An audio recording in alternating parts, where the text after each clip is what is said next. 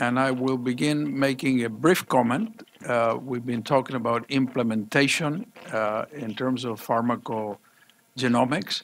Uh, I just want to mention that for the last couple of years, the NIH Clinical Center has been offering uh, HLA genotyping uh, when uh, abacavir, carbamazepine, uh, and now phenytoin and allopurinol are prescribed by practitioners in the NIH uh, Clinical Center.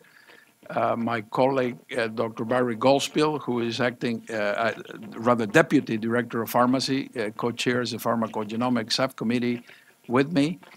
And Dr. Bill Flegel in the Department of Transfusion Medicine is in charge of the actual HLA genotyping uh, implementation. So I just wanted to uh, mention that uh, the clinical center is, in fact, uh, moving in that direction. It is required for abacavir. Uh, otherwise, it is a recommendation, and clinicians uh, may decide on an individual patient basis whether or not to order uh, a at, at any given time. So uh, with that, uh, again, this is open for general discussion.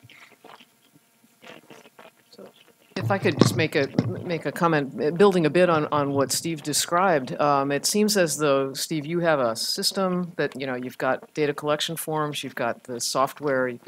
It, it shouldn't be all that difficult to, to transport that to other sys- systems. And so um, recognizing that Cerner is, is not the, the most penetrant uh, nationwide, but still, it's, it's one that's, that's fairly standard. So, so, you know, recognizing that that's not your mandate to do, how could we facilitate that happening if that would be a useful thing to happen in, in other systems?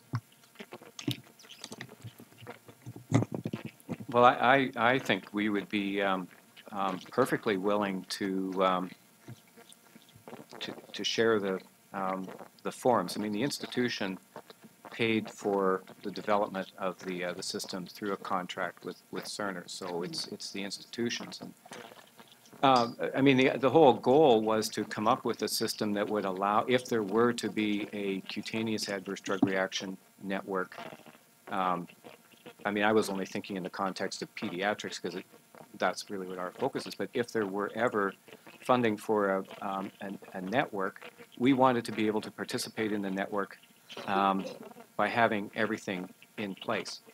And uh, we would be more than willing to share, um, you know, whatever whatever we can that, that, that would uh, facilitate this uh, occurring at more institutions um, uh, wherever. So, so what does it take? I guess it takes um, uh, probably a medical IT person at uh, at a given hospital or system to to tweak it or engineering. I don't. I don't. I don't. I don't know. Um, but it was our medical um, um, informatics uh, team working with um, uh, the Cerner em- employees who walk around with Children's Mercy Hospital ID badges on to make it happen, and, and that's the extent of my knowledge. Yeah, yeah, Mark Williams Geisinger, unfortunately, uh, living in this uh, world. So, uh, you know, these things are conceptually simple, but um, uh, actually uh, realizing them is incredibly difficult because what usually happens is that these do get built as one-offs, and so they will work in Cerner, but they won't transport necessarily even to other Cerners. And so I think the strategy would be to um, take advantage of, I think, what is a little bit of mom- momentum uh, that's gathering uh, as a result of the GM7 meeting and the IOM uh, EHR Action Collaborative meeting, uh, where people are saying we really have to solve this generalizability issue and we have to use some of the standards that are available that are going to be uh, uh, all certified EHRs are going to have, like uh, um, fast health, healthcare interoperable resources and those sorts of things. So I think that um, as we develop a, strategy, assuming that we want to move this forward, that this is you know creating a network, creating standardized data entry, and those sorts of things, uh, engaging with the informatics community to build the resource such that it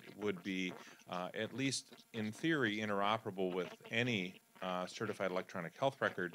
Um, uh, not integrated within it, but sitting on top of it and able to communicate with it, uh, would be uh, a desirable approach. But it's it's difficult to do that without um, so, sort of a, a national perspective because the at the individual level it just doesn't move in a generalized way. So it's it's very challenging. Although, although as we've, as we've talked about, it's a big country, and, and trying, I think, to, to do this on a national level, I mean, eventually it could happen. Um, And, and yet, you'd, you'd like to take advantage of sort of willing partners early on. And, and if there were, you know, at least a handful of, of hospitals that wanted to, to partner, and then those could grow, and those could grow broader. And maybe, Josh, you, you wanted to comment on, on that? Yeah, I was, I was just thinking that, you know, I think it is great to have these interoperable standards, and I think we need to continue to shoot for them. And, you know, certain, there've been some great demonstration projects like SMART and things like that that could run across, which are these apps that you can put across different uh, uh, smart-enabled uh, EHRs. But, you know, optimally to be effective, it's got to be integrated within the EHR um, in, a, in a way that sort of fits all the standard workflows people are used to. And I, I do think as long as you, you know, you have standard outputs um, and, and think about what those outputs look like, then the work you've done in Cerner to design a form that, that works well and the data elements you want to collect could be probably mapped to something that looks similar in Epic.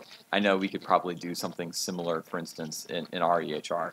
Um, and uh, of course, ours is homegrown, so we have the ability to sort of do what, you know, kind of whatever we want. But the um, uh, but uh, I think that those elements, if you standardize the outputs, you could cross them across different systems. And I, Mark is completely right that you know what works in one cerner doesn't necessarily work in another cerner. Same with Epic, et cetera. But it gives you a great head start. It's a lot easier to adapt code that's in one cerner to another cerner application. So I would think the model is a, a good step forward. I mean, the, the thing that I would, um, I completely agree with what Josh has said, but I think what you really want to do is you want to have a, a, an eye on ultimately where you want to be, so that you don't create, you can create something that works with a small number of partners, but if you create it in such a way that it only works with that small number of partners and doesn't have a vision for uh, extensibility, that's not a good outcome either. It's a lot of resources that ultimately won't get you where you want to go. So I think it, you know, starting with a smaller group across multiple uh, EHR systems and demonstrating that it can work will then lower the energy barrier to um, extend it more broadly if that's the direction that uh, things want to go. We had talked yesterday at our breakout, and we'll hear about this, about whether or not, you know, even something within uh, groups that are participating in the Sentinel uh, program could potentially uh, utilize something like this, um, which again would have a lot more uh, uh, oomph behind it if we could pull something like that off. Well, and, and maybe if I could just make one, one quick comment in, in response to that, uh, you know, what, what we seem to be talking about is, is not, at least doesn't sound like research. And so, so, you know, for NIH, this would be a kind of a tall mountain to climb. On the other hand, you, you made the very good point that then it provides the infrastructure on which you can do research. So, so then we'd be interested. So, um, so is it, is it possible to sort of leverage this with the variety of patient safety um, initiatives that are ongoing? And, and I'll turn to our FDA friends to, to help us to, to know who the people are to engage. I would think AHRQ to some degree, um, that our Agency for Health Care Research and Quality, um, and, and potentially the CDC, uh, but, but I, I don't know. So I don't know if Mark or others, if you want to comment.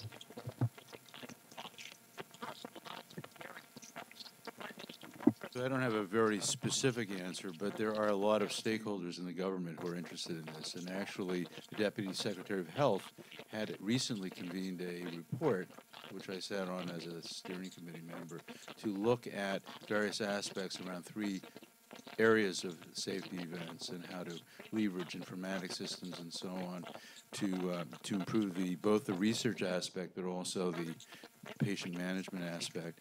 And they brought in some IT specialists. Um, AHRQ was one of the groups that was involved, all right across the whole government actually. So we can find out who are the people to go to. But I think that the vision here is to have a system in place, informatics system in place, which you can use both for patient management, so that is early recognition of events and interventions, uh, the research aspect, and then the public health aspect. So those sort of the three-cornered hat. And if you and if you really do it right over time, you build a network so that it becomes basically for these rare events, especially. Um, you know, sort of, all, you know, encompasses hopefully the whole healthcare system as much as possible. The other aspect, and Dr. Hufnagel is going to talk about this, is that besides the uh, data elements which are important to accumulate, you really do need a clinical brain to look at individual cases. You need this kind of causality analysis, which also has its own methodology so that when when patients are being seen at the bedside by the clinicians, they're actually calling what those what those cases actually are. And there needs to be a system in place where, in addition to the data elements, there's a kind of smart narrative, which has a which has its own consistency across the system, where the narrative synthesizes what the patient actually had and what the expert brain thought the, what the diagnosis was.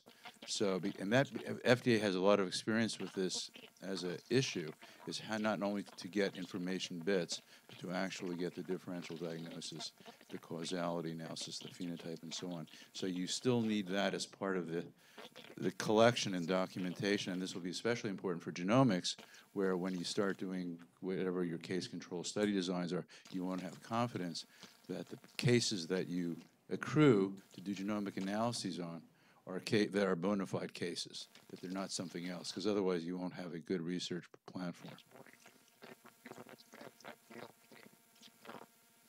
I Just want to say the other group to talk to would be ONC.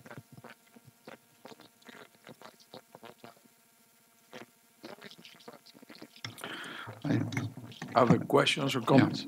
Well, a comment, uh, that one problem is we can come too diffuse and get all ADRs when this meeting is focused on a very serious one, um, that does call for research, you know, type of investment.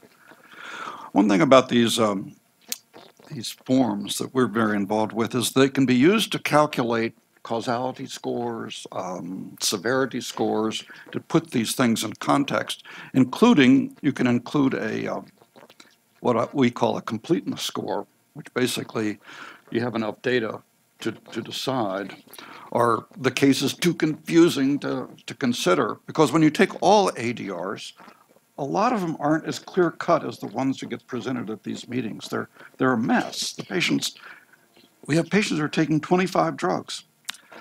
So not much you can do with that. So these types of scores can be built into these systems, and you can give an, uh, an output to the person who puts it in.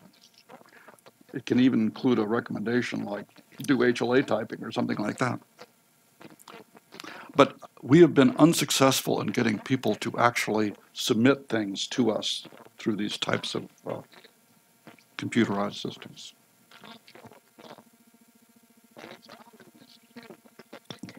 Uh, that does raise a question. What what um, a challenge for us is is uh, polypharmacy, and you know, uh, on average, patients are leaving the hospital with eight different medications. So um, it really makes the um, cause you know the association very complicated, and I think there's some areas here for research and how to approach that uh, difficult problem.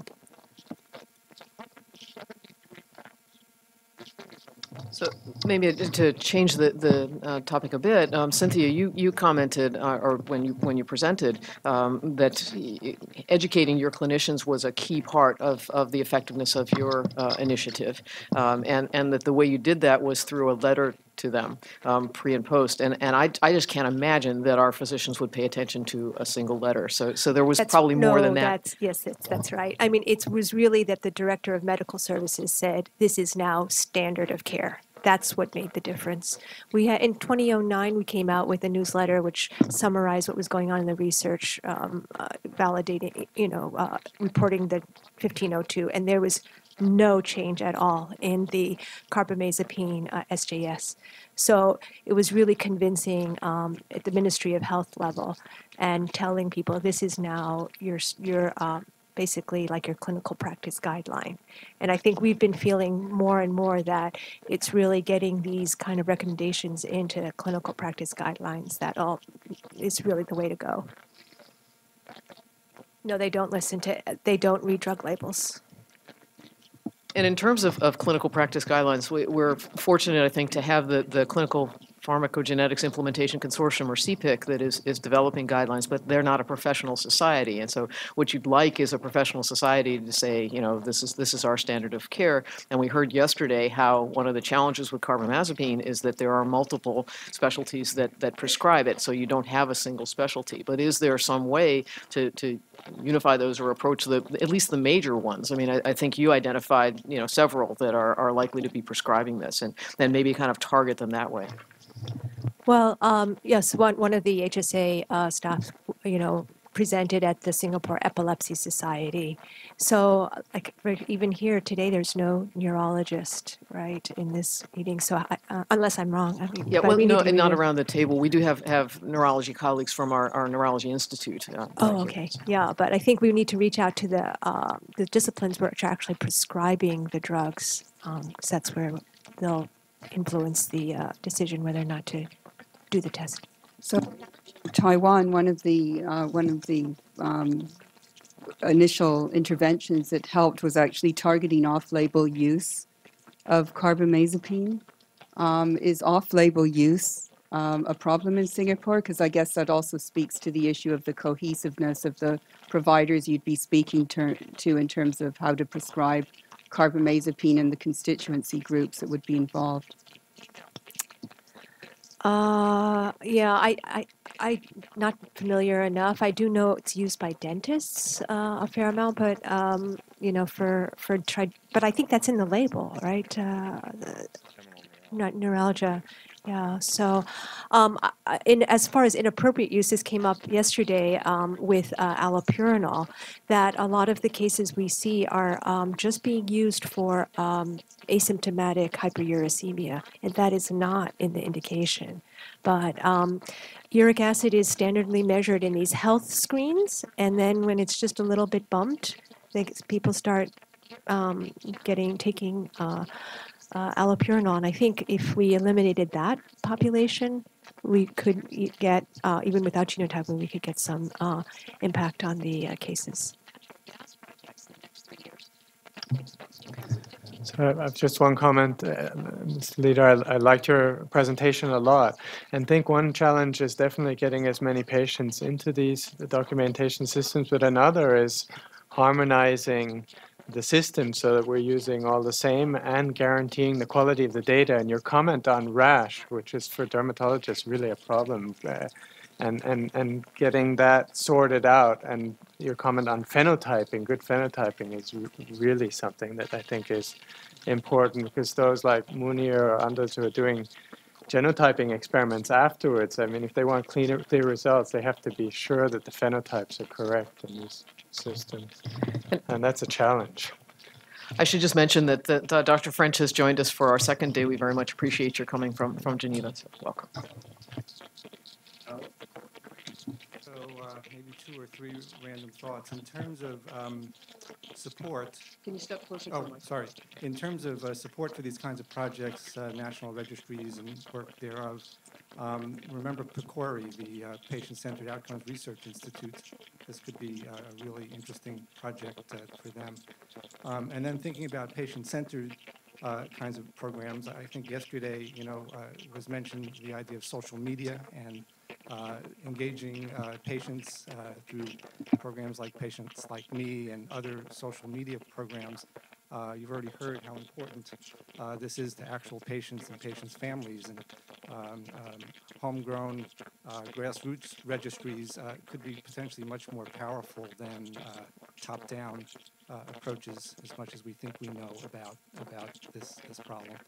Um, The last comment, uh, a little bit different from the first two, uh, you know, we've heard a lot about, um, over the course of the last day, you know, what's the offending drug? There's polypharmacy, chart reviews that take hours and hours to try to figure all of this out. But, um, and then I've also heard, uh, I think Terry mentioned yesterday, that maybe there's this common pathway that we should be thinking much, much more about.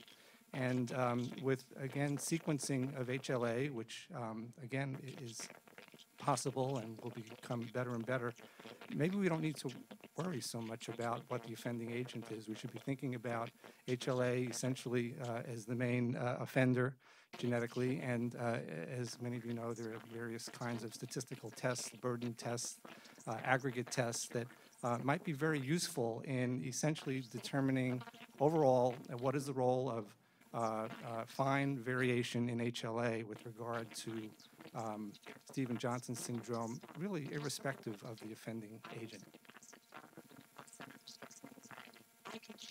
Thank you. Uh, Mark, you have another? Yes, uh, this is just in response to Terry's questions about guidelines. One clarification and, and then a comment. The CPIC guidelines uh, presume that you have the genomic information in hand and provide guidelines about what to do with the information. They don't actually provide guidelines about who to test and who not to test. And so that is of some relevance in a situation where we're really talking about should we test or not test. Uh, the second thing is, again, in my role as wet blanket over the last two days, uh, I would just once again point out that at least in the United States, there's been a fair amount of scholarship that shows that creating a clinical guideline does not, in fact, rapidly change practice, unfortunately. Some of it is because the guidelines are frequently constructed in such a way that they're not adequately explicit. They would say things like should consider or make, you know, what we uh, refer to in the informatics world as weasel words. Um, and so it really gives clinicians a lot of uh, latitude. Um, but again, the role the role that guidelines can play is that you can then use those to um, uh, develop clinical decision support that can really uh, work well. And the last point I would just make is one more lever to push, button to push, uh, particularly related to severe adverse drug events, uh, is the liability uh, point, uh, and particularly in the United States, although it sounds like this is an issue in other countries as well. Um, hospital leaders don't like to hear about the fact that, hey, we're exposing ourselves to liability because we're not doing something to prevent these sorts of things. And so if you're like me, where you use any tool in the toolbox to get what you want, uh, you know, you this is just another weapon to add. So. Thank you. I just want to add that uh, uh, professional guideline is really important, I think, because uh, when when you, I mean, the American Society of Professional, like uh, American Society of Rheumatology, when they update the gout treatment guideline to suggest uh, HLA 5801 testing in Asians or in Thai, it was published, and then you have a PDF downloadable all over the world and our clinician read it. So when I talk with the head of the rheumatologist in in Thailand, they they concerned about that recommendation because uh, it was published in your guideline. Yes. So and also the FDA recommendation here is also used in the other part of the world. So if you have a recommendation update in the FDA or the professional guideline, I think it's, it has a world, worldwide effect. But I, yeah, but I, I would say that um, we, we, we struggle this because like for abacavir, it's almost absent. 5701 is almost absent. So it's not cost effective at all in, in Asia. So the, the you know, just just follow you know, just follow what is coming out of the U.S. is not always the, the right thing. And we're struggling with allopurinol because of the limited alternative medications. Uh, if you are 5801, there really aren't a lot of other choices. So I think we're thinking more along the lines of increased uh, safety monitoring rather than changing the drug. So I, am- I am a, a little bit curious, though, in terms of the, the 5701 that is not at all prevalent in, in Singapore. Do you have abacavir hypersensitivity? Uh, very little, but we also have very little HIV. um, Okay, yeah, so Because don't- uh, you don't use it. for anyone who's coming to the country to work, you have to take an HIV test, and, uh, and you don't get your entry pass if you're positive.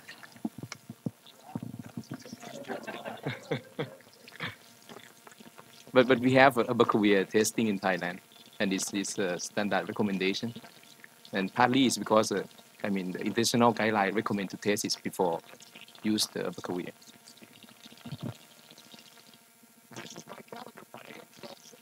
So we will uh, conclude then this general discussion, and as Terry uh, mentioned earlier, there will be a group uh, picture taken, a group photograph.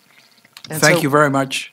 And we're, so before you go, thank you very much, Juan. Uh, and bef- before we go to, to break, then we're supposed to gather in that back corner there. Um, and the, the m- quick, more quickly we can do that, and, and uh, effectively the easier we can get on to break. So please, please do that. Thanks.